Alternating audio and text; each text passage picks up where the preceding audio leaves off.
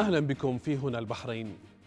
تنفيذا لتوجيهات حضرة صاحب الجلالة الملك حمد بن عيسى آل خليفة ملك البلاد المعظم الرئيس الفخري للمؤسسة الملكية للأعمال الإنسانية حفظه الله ورعاه بتهيئة البيئة التعليمية الجامعية المناسبة للطلبة المكفولين في المؤسسة ممن لا تساعدهم ظروفهم المعيشية على استكمال دراستهم الجامعية.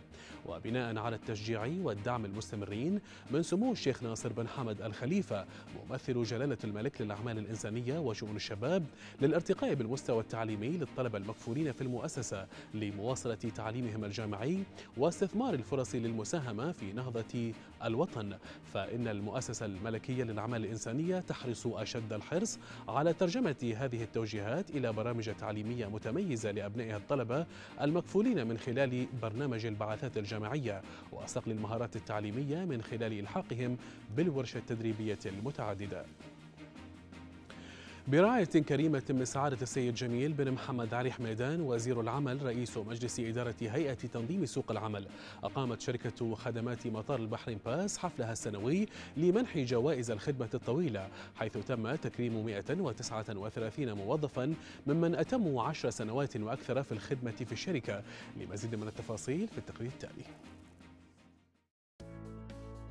نظمت شركة خدمات مطار البحرين باس حفلها السنوي لمنح جوائز الخدمة الطويلة حيث تم تكريم 139 موظفاً ممن أتموا خدمة عشر وخمسة عشر وعشرين وثلاثين عاماً من الخدمة في الشركة. ويأتي هذا الحدث السنوي للاحتفاء بالموظفين نظير تفانيهم المستمر وإسهاماتهم المثمرة في نجاح الشركة.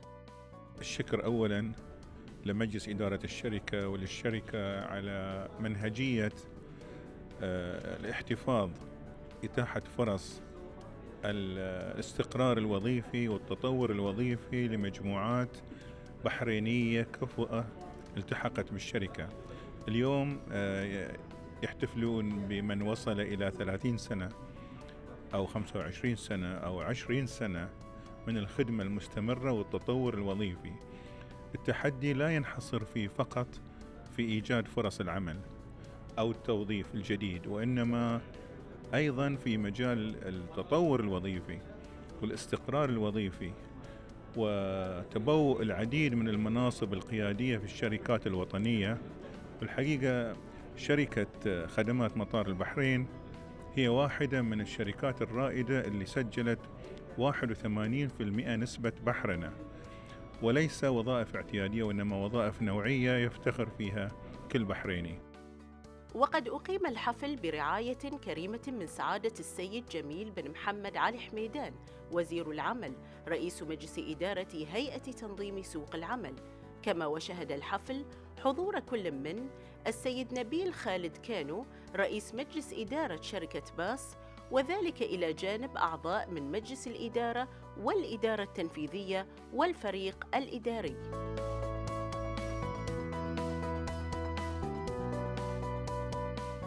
والله في البداية يعني حبيت أشكر إدارة الشركة وعلى رأسهم مجلس إدارة الشركة في البادرة الطيبة هذه بتكريم قدام الموظفين بشكل خاص يعني وباقي الموظفين يعني اللي مضوا فترة من حياتهم في الشركة. طبعا في الفترة الأخيرة في تطور كان وايد ممتاز حق إدارة المطار بشكل عام كلها مع وجود المطار الجديد. وإن شاء الله نتمنى أنه يكون بادرة خير حق البلد. مستانسة لأن بس تعتبر جزء مني وعشر سنين ما شاء الله عمر وياها. الحمد لله بفضل الله وبشكره بتقديرهم وامتنانهم لنا. مشكورين جدا على هاي يعني اليوم اللي صار لنا هاي اليوم. وإحنا فخورين إن إحنا وصلنا لهاي المرحلة وياهم. جزيل الشكر لهم؟ طبعا بمناسبة تكريمنا أشكر السيد محمد خليل والسيدة هناء عبد الواحد والإدارة التنفيذية للشركة. ومشكورين ما قصروا على تكريم الجماعة اللي خذ لهم سنين في الشركة. هذا وتستمر شركة خدمات مطار البحرين باس بتعزيز وتحسين معايير الجودة والصحة والسلامة والأمن عبر جميع عملياتها وأعمالها المؤسسية وذلك لضمان توفير بيئة عمل صحية ومحفزة تساهم بتحقيق التوازن بين الجنسين وتشجيعهم على المضي قدما في رحلة النمو والعطاء.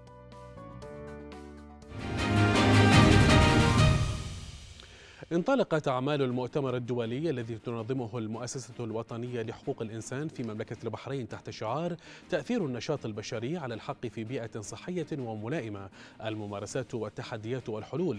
وذلك بحضور سعادة الدكتور محمد بن مبارك بن دينا وزير النفط والبيئة المبعوث الخاص لشؤون المناخ.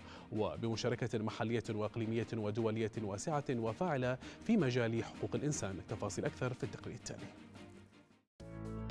خلال الجلسة الافتتاحية لأعمال المؤتمر الدولي الذي تنظمه المؤسسة الوطنية لحقوق الإنسان والذي يأتي في ظل ما تشهده مملكة البحرين من تقدم بارز في هذا المجال الذي شهده العالم منذ بزوغ الثورة الصناعية والتكنولوجية الهائلة من تعسف في استخدام الموارد الطبيعية للأرض وزيادة كبيرة في استخدام الوقود الإحفوري والعمليات الصناعية والكيميائية المعادية للبيئة.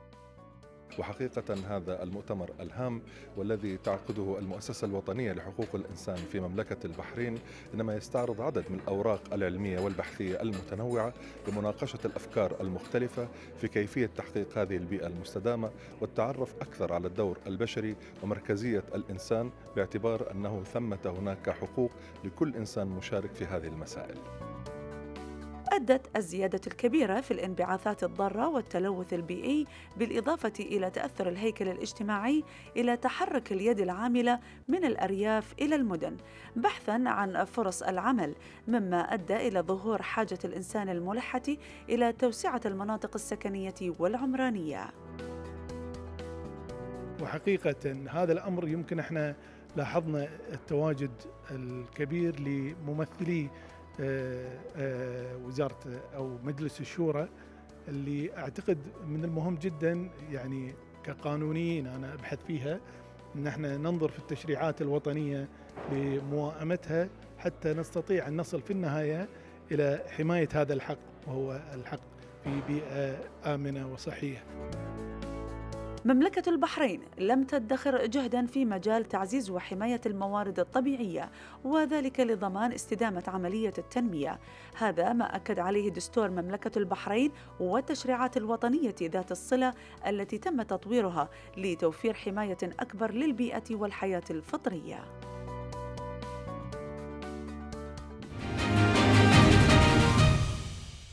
وللحديث أكثر حول هذا الموضوع ينضم لنا عبر الهاتف المهندس علي أحمد الدرازي رئيس المؤسسة الوطنية لحقوق الإنسان. سيد علي أهلا ومرحبا بك معنا في برنامج هنا البحرين. البح... آه، مملكة البحرين قطعت أشواطا كبيرة في مجال حقوق الإنسان ولكن هذا المؤتمر بالتأكيد له أهمية كبرى. حدثنا آه، ما هو الهدف من وراء تنظيم هذا المؤتمر؟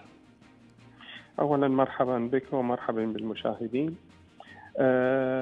الهدف هو تقريب اولا وجهات النظر وإجراء حوار تكاملي بين الجهات الوطنية والإقليمية والدولية المسؤولة عن تنفيذ تطبيق متابعة ورصد التشريعات والسياسات والخطط والقضايا البيئية. آه، اثنين عندنا أيضا آه، بيان دور المؤسسات الوطنية لحقوق الإنسان بصفتها يعني طبعا اللي هي اليه وطنية آه، معنية بحماية وتعزيز حقوق الإنسان. وأيضا آه، تسليط الضوء على أهمية الحفاظ على بيئة صحية ومناسبة إلى كل المواطنين والمقيمين في البلد. أيضا آه، رفع الوعي بتأثير النشاط البشري على حقوق الإنسان. تشجيع النشاط القائم على حقوق الإنسان لمنع الآثار البيئية السلبية. طبعا الحصول أيضا على التجارب والمؤسسات الوطنية والمنظمات الحكومية وغير الحكومية آه، والدول آه، في المحافظة على حقوق البيئة. التطرق أيضا إلى الممارسات الحالية والتحديات اللي نواجهها. طبعا اقتراح الحلول والخروج بتوصيات وهذا اللي صار. جميل جدا. سيد علي طبعا بالتأكيد آه، مؤتمر دولي شاركت فيه جهات عديدة ودول آه، عديدة أيضا. آه، حبذا لا تحدثنا عن الدول والجهات التي شاركت في هذا المؤتمر. الحمد لله المشاركة كانت كبيرة جدا. يعني في حدود 350 أو أكثر مشارك منهم متحدثين من عدد من الوزارات والأجهزة الرسمية في المملكة وأيضا عدد من ممثلين المنظمات الدولية. مثل مفوضية الأمم المتحدة السامية لحقوق الإنسان وبعض ممثلي المؤسسات الوطنية لحقوق الإنسان. كذلك كان في ممثلي عن برنامج الأمم المتحدة الإنمائي والمرصد العربي لحقوق الإنسان إلى جانب آه، ممثلين عن مؤسسات المجتمع المدني والمدافعين عن حقوق الإنسان وعن حقوق البيئة. أستاذ علي طبعا لكل مؤتمر هناك توصيات ختامية، ما هي أهم التوصيات الختامية لهذا المؤتمر؟ آه، المؤتمر خلص إلى تقريبا 24 آه، توصية، في عدد يعني أنا ما بقدر أقول كل التوصيات ولكن كان في مجال التشريعات والنظم والقوانين وفي مجال التخطيط والعمل الاستراتيجي وفي مجال المراقبة والحماية وفي مجال التثقيف والتوعية في مجال عمل المؤسسات الوطنية لحقوق الإنسان بشكل عام في العالم وفي مجال مؤسسات المجتمع المدني والمدافعين عن حقوق الإنسان وأيضا في مجال التكنولوجيا ومدى استخدام التكنولوجيا لحماية حقوق الإنسان. المهندس علي أحمد الدرازي رئيس المؤسسة الوطنية لحقوق الإنسان شكرا جزيلا لك. شكرا لكم.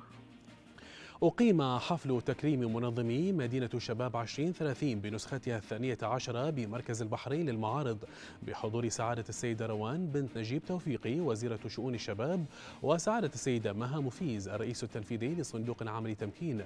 مزيدا من التفاصيل في التقرير التالي. تتيح مدينة شباب 2030 فرصة رائعة للشباب في مجال التطوع في مختلف مراكزها ولجانها. وختاما للجهود المبذولة والعطاء المثمر. أقيم الحفل تكريم منظمي مدينة شباب 2030 بنسختها الثانية عشر يوم الجمعة الماضي في مركز البحرين العالمي للمعارض بحضور سعادة السيدة روان بنت نجيب توفيقي وزيرة شؤون الشباب وسعادة السيدة مها مفيز الرئيس التنفيذي لصندوق العمل تمكين. طبعا اليوم يمكن المشاعر آه، تلخبط شوي بين آه، حزن ان خلصت المدينة وبين آه، فرح إن إحنا نشوف السواعد الموجودة والجنود اللي كانوا خلف الكواليس لإنجاح مدينه شباب 2030 موجودين ويتم تكريمهم في هذا اليوم فإن شاء الله نشوفهم على خير السنوات الجاية وإن شاء الله كل سنة ورا سنة المدينة تكون أفضل وأفضل بإذن الله. اشتمل برنامج الحفل على تكريم المنظمين وعرض لبعض الفيديوهات وعرض فني وفقرة للمسابقات بالإضافة إلى أخذ صور تذكارية. آه طبعا إحنا حزينين إن مدينة الشباب خلاص يعني انتهت لهالعام ومتحمسين إن إن شاء الله نقدر نشتغل عليها حق السنوات القادمة. واليوم إحنا قاعدين نحتفل بمنظمي مدينة الشباب. طبعا هالمدينة جزء كبير منها كله تطوع. فهم حاملين العمل هم اللي شايلين خلينا نقول هالفعالية أو البرنامج الضخم اللي عندنا إياه. سنويا هم اللي قاعد يشيلونه. آه، عندنا عدد كبير من المتطوعين. فوق ال 200 شاب معانا اليوم قاعد يتطوع في تخصصات مختلفة في مجالات مختلفة عشان هالمدينة تستمر. وتتيح مدينة شباب 2030 فرصة رائعة للشباب في مجال التطوع في مختلف مراكزها ولجانها.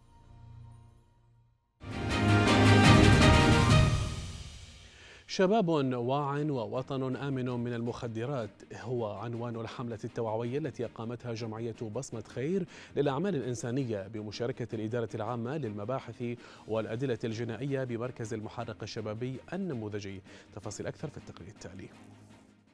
في إطار تعزيز الشراكة المجتمعية مع كافة مؤسسات المجتمع المدني لمكافحة آفة المخدرات شاركت الإدارة العامة للمباحث والأدلة الجنائية في الحملة التوعوية التي نظمتها جمعية بصمة خير حيث تولي وزارة الداخلية اهتماما كبيرا باستدامة الجهود الوطنية لمكافحة المخدرات عبر منظومة متكاملة بالتعاون مع مختلف الجهات الحكومية والأهلية ذات الصلة مما يسهم في حماية الأفراد والمجتمع من تلك الآفة. وزاره الداخلية تسويها من سنين. إحنا راح نكمل المشوار. في هذه الحملة بإذن الله. وتضمنت مشاركة الإدارة إقامة محاضرة ومعرض توعوي قدمتها شعبة الإعلام الجنائي حيث اشتملت على محاور توعوية أهمها جهود الخطة الوطنية لمكافحة المخدرات.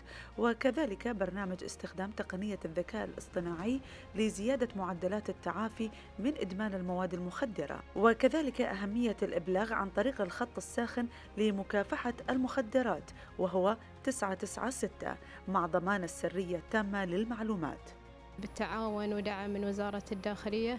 طبعا حابة أوجه لهم الشكر الجزيل كما أوجه شكر للجهات المشاركة من جمعيات ومن مراكز مختصة في هذه المجال. أنا جدا سعيد وفخور بمشاركتي لو بجزء بسيط من آلية العمل الاجتماعي في البحرين اللي يربط بين حكومة وشعب لصالح مجتمع واعي مجتمع آمن الجدير بالذكر أن الإدارة العامة للمباحث مستمرة في تعزيز الشراكة مع مختلف الجهات من خلال احتضان العديد من المبادرات الأمنية والتوعوية لمجتمع خالي من المخدرات.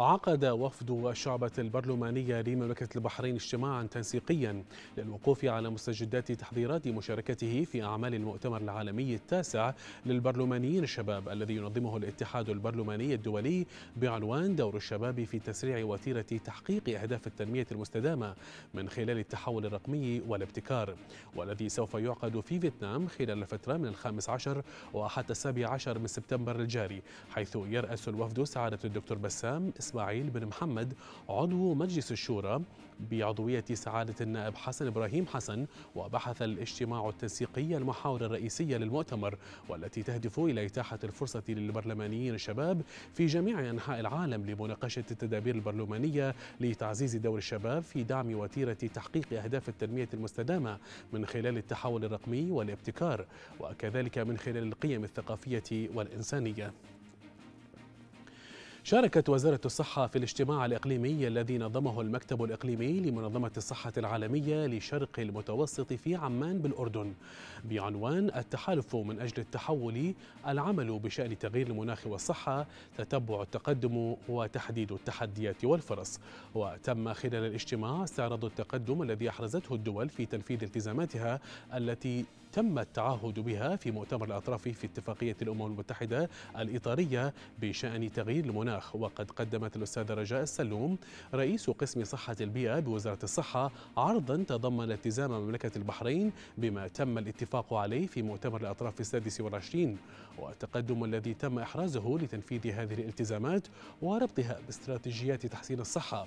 ويأتي هذا الاجتماع في إطار دعم المنظمة للبلدان التي قدمت التزاماتها إلى البرنامج الصحي لمؤتمر الأطراف السادس والعشرين الذي سيمكنها بفعالية من البدء في تنفيذ ومتابعة تنفيذ الخطوات المتعددة الالتزامات والحصول على الدعم الفني والتغذية الراجعة والاستفادة من الخبرات. إلى هنا مشاهدينا وصلنا لختام حلقة برنامج هنا البحرين. في أمان الله.